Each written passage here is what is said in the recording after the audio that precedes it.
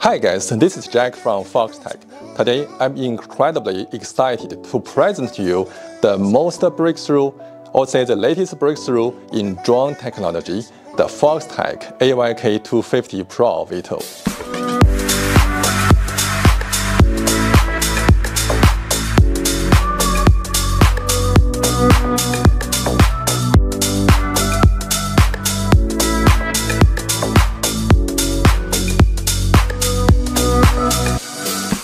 So let's check the appearance.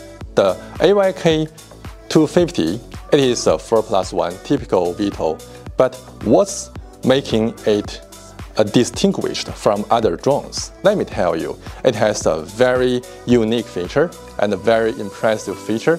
It is the first one, the first drone to use the vehicle-grade integrated CAN bus system. It's very nice.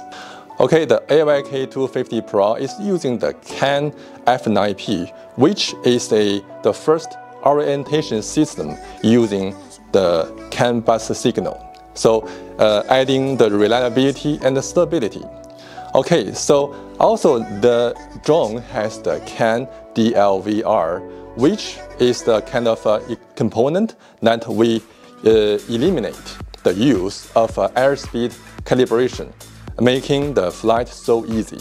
And then the PMU, which is uh, the most, the biggest feature I like, is uh, integrate uh, an isolation system that we can separate a high power system from the flight controllers and the sensors, giving you a very clean and a very stable uh, power supply, making the flight safer and very stable. Another great feature about this ESC is using the CAN D-Shot protocol. So the ESC is using the high-speed D-Shot 1200 uh, signal delivery and also it's using the ESC telemetry, which is making the signal transmission very, very stable and very fast. This integrated CAN bus system on board is linking all devices together, including the servos, the ESCs, motors, air speedometers, the PMU, all things together is making the whole connection very fast, very stable, and the EMI resistance, and to make the whole flight truly, truly very, very safe. And also, what I have to mention, if you want to do the troubleshooting, the CAN bus signal transmission back to the ground station is making the whole thing a lot easier. So talking about the ESC telemetry, uh, it's uh, using the CAN bus signal to transmit all the necessary data back to the ground station, including the temperature and also the voltage, uh, current and RPM of the propeller. Directly, you can see them directly on the ground station uh, devices. And also the very uh, high-tech, the notch filtering system is going to filter out all the shakes, the vibrations, and so you can have an incredibly smooth flight experience. Okay, as you can see, this plane is using the dual GPS system. You can see two antennas, and actually we have the two uh, CAN F9P a GPS module built inside. And this dual or redundancy system can give you a very good reliability. And also, this system can give you an information like attitude, very precise attitude, and navigation signals. So they can be great helpful when you want to fly in a high electromagnetic field, like the missions to do the iron mine or the power line inspections. Also, what we have added to this plane is the motor lock, or say the propeller lock technology. Let's see here, if I move to other places, uh, you can see the propeller is always for, uh, facing to the forward direction. Uh, what does it do? Actually, this kind of technology can greatly improve the flight efficiency due to less wind resistance coming in this way. So the motor will lock in the fixed wing mode to this position. All four motors are doing the same thing. So uh, as we did the calculation, the efficiency improvement could be reaching the remarkable 20%. As you can see, the plane is using the two pitot tube. One is here, one is here. Uh, this one is using the DLVR air speedometer, and this one is using the Sky E air, air speedometer.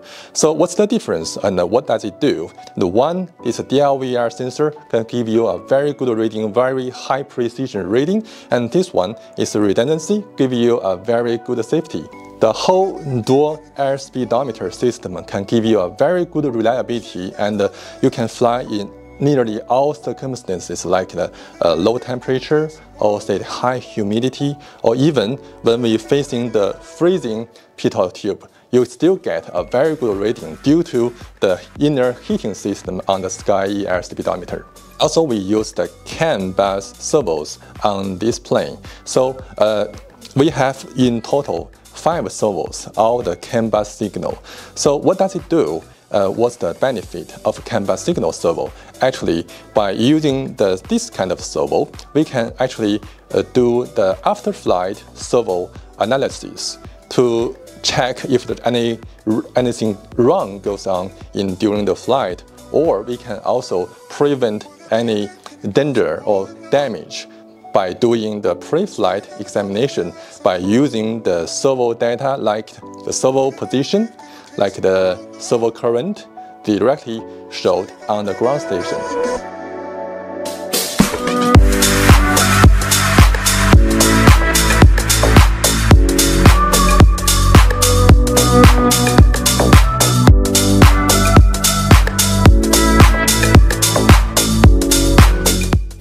In conclusion, the Fox AYK 250 Pro VTOL, it's not just a drone, not just a simple drone. It's like, like a cutting-edge piece of technology here.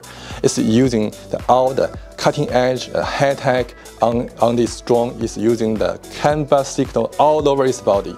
So it's giving us a very good uh, connection inside of the body and a very good flying reliability. So if you are interested in this drone, we are going to release this and put on our website, which is the foxtech.fpv.com. And thank you for joining us today, and please stay tuned for more exciting news from Foxtech.